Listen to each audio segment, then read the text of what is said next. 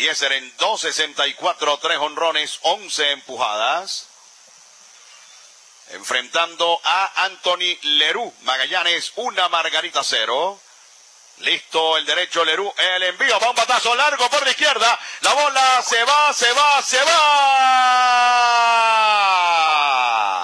Y allá va.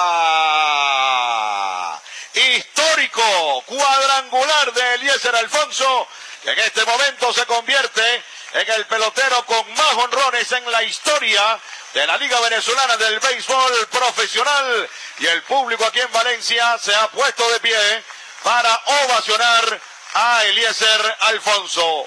Momento histórico de nuestra pelota, Damaso. Sí, estábamos esperando que tú terminaras eh, de hacer el comentario para hablar acerca de el, el momento pero él no dio tiempo de mucho porque le hizo swing al primer eh, lanzamiento, una línea tendida, pero que estuvo en la vecindad de la frontera, cayendo finalmente cuando el árbitro de tercera base señaló que era buena y permitiéndole pasar ahora mismo a Robert eh, Pérez, quien conectó 124 y con el cual estaba empatado.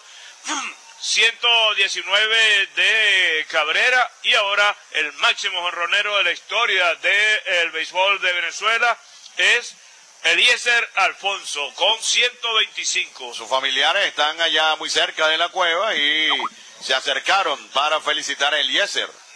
Y hay que decir que en este momento es el líder, pero Robert Pérez está activo y Cabrera también está activo. Así que en este momento pasa a tomar el liderato por primera vez Eliezer Alfonso.